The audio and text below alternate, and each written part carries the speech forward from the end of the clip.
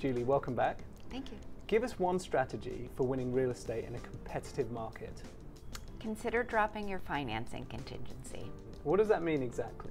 Well, when we say contingencies, we mean the conditions that must be met in order to hold all of the parties to the deal. So if a deal is contingent on financing, it means that the buyer can walk away from the deal without risking their contract deposit if the bank decides not to lend. Why is this a top strategy? Well, because sellers like a sure thing, and the surest thing is cash, and you could be up against that.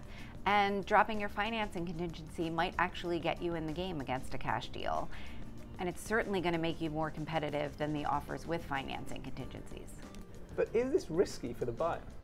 It's definitely a strategy to weigh with your team, meaning your broker, your lender, your attorney, before you even start your buying process, not the night before you're about to put in a big offer when your emotions are high.